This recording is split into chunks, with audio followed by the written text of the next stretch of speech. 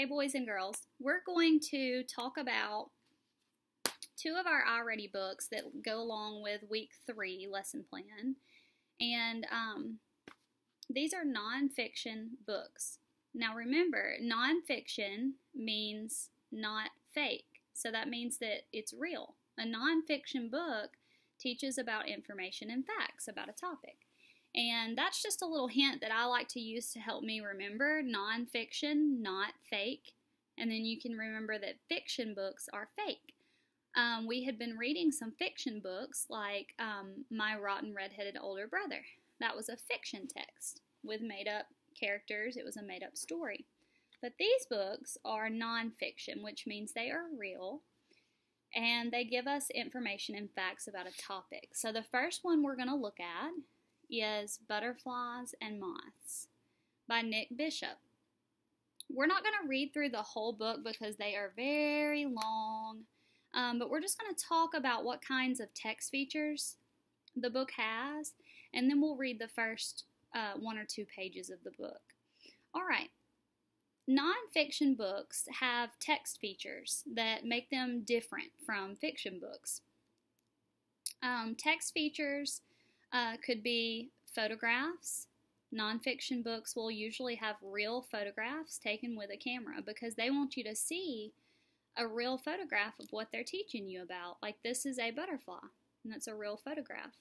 If we flip through the book, we see real photographs, and they've zoomed in on the picture so that you can see them really well.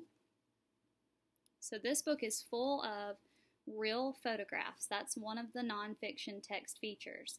Another one, another text feature is captions. A caption is a little section of text that tells about a picture. So it tells you what's happening in the photograph or what the photograph is showing. Um, like this caption or this caption. So it helps us understand the photographs. So we have photographs and we have captions. Let's flip to the back of the book. In the back of nonfiction texts, you can usually find an index. An index tells you what page numbers you can find certain topics on. So sometimes a nonfiction book will teach you um, about topics on lots of different pages. So, like if we wanted to learn about um, caterpillar, see the word caterpillar, we could look at page 18 and 19. If we wanted to read about this says caterpillars again, but it breaks it down by these different sections. So if we wanted to learn about the body of caterpillars, look at all these page numbers that it talks about caterpillar bodies. So an index helps you see what page numbers has certain topics. And then we have a glossary. That's another um, text feature. A glossary gives definitions.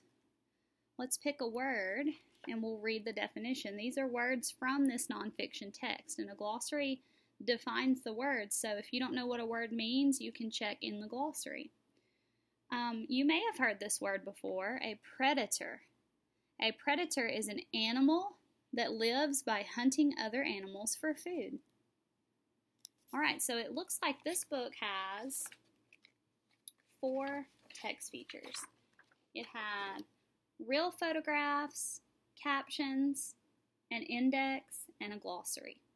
All right, let's read the first two pages of this book, Butterflies and Moths.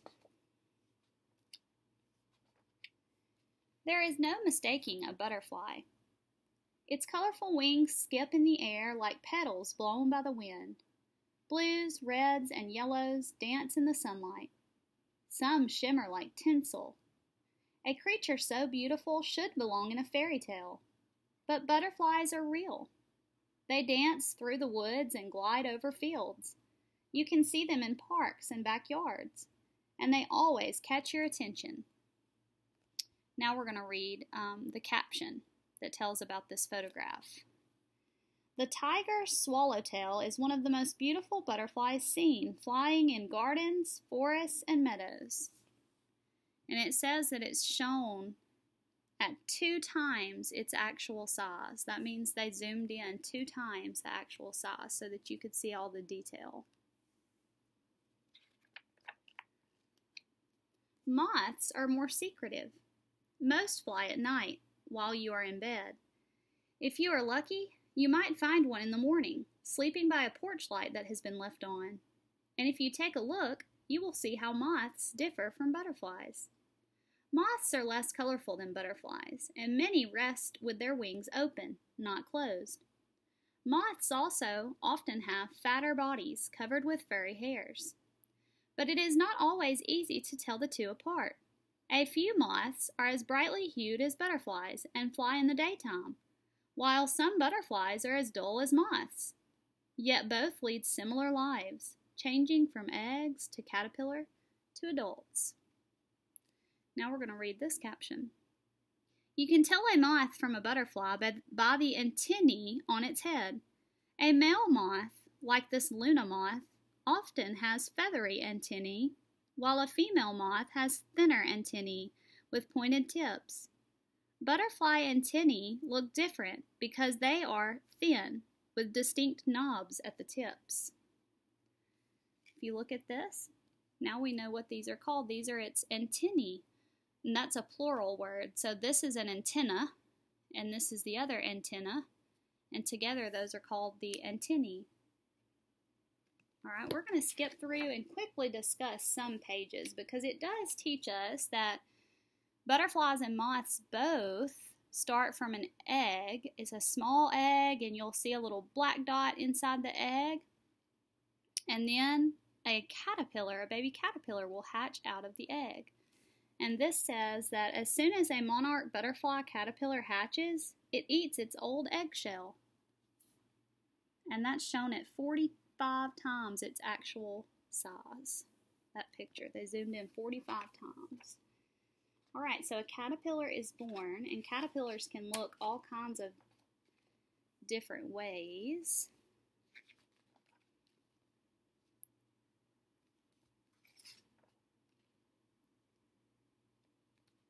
And then this page talks about how they um, wander away to find a safe place to turn into a pupa. This is when they make um, their cocoon. Let's read this caption that tells about these photographs. It says a monarch butterfly caterpillar hangs upside down from a silk pad and squeezes out of its old skin to turn into a beautiful green pupa. And that shows it on the left. After a week or two, you can see the body of the butterfly ready to emerge.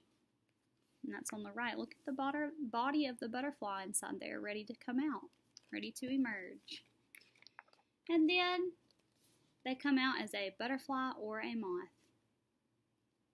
So this book actually told us ways that they were different. Their antennae are different, um, but they are the same because um, they grow the same.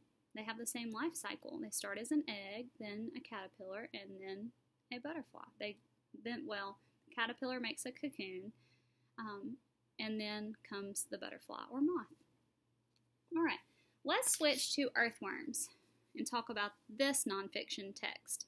Earthworms is by Claire Llewellyn and Barrie Watts, and let's see what kind of text features this one has. So I see right off the bat that it has real photographs too. This is a real photograph of an earthworm. And if we flip through the book, we'll see other real photographs. It also has drawings or illustrations that are just not real photographs too. They can have that. These are real photographs. All right. Um, this one also has captions, just like the other book had. We look right here, this is a caption that tells about this picture. So captions help us understand photographs. So it has real photographs, it has pictures. Um, if we look in the front of this book, this book actually has a table of contents. That is a text feature. The table of contents lets you know what page number that these headings are on. So if you want to read about a certain thing, you would go to these specific page numbers. And we'll do that here in a little bit. So they have a table of contents, real photographs, captions. Another text feature that this book has is it has diagrams. A diagram tells you, it labels parts of something so that you know what the parts are called, like this diagram of a worm's body. See the names of those parts? We'll read that page here in a little bit. And let's see if we can find another diagram.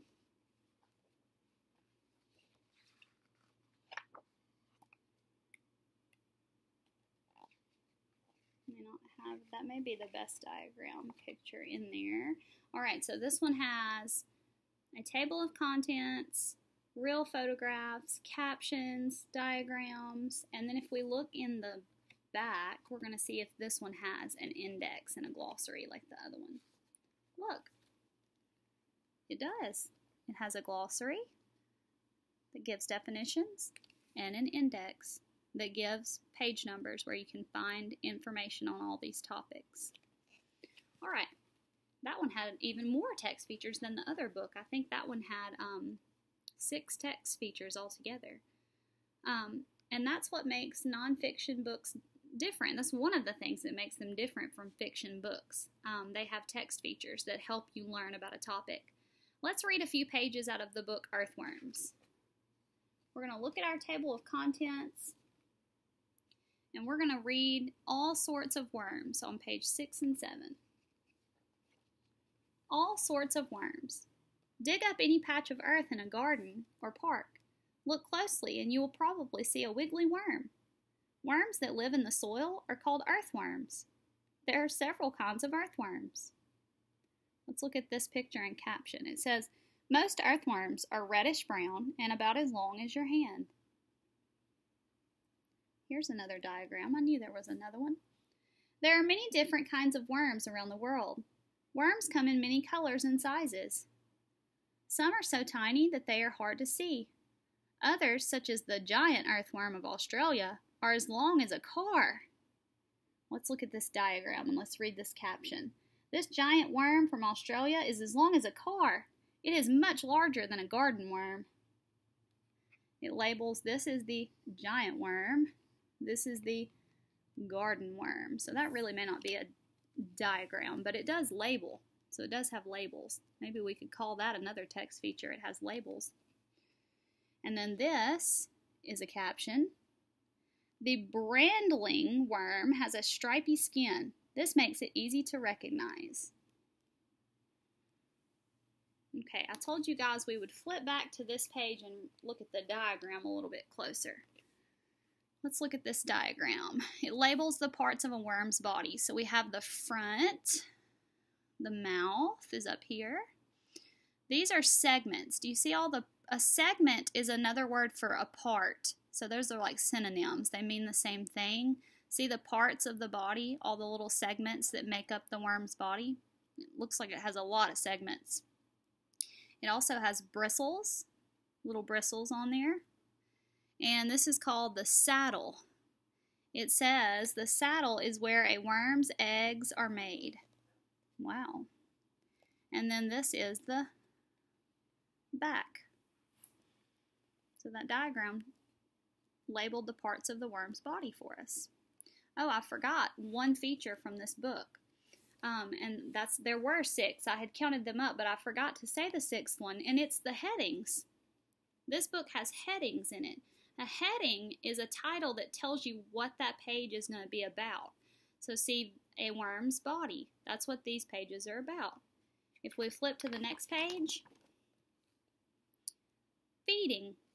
These pages are going to teach us about feeding. So this is called a heading. So six text features in this book.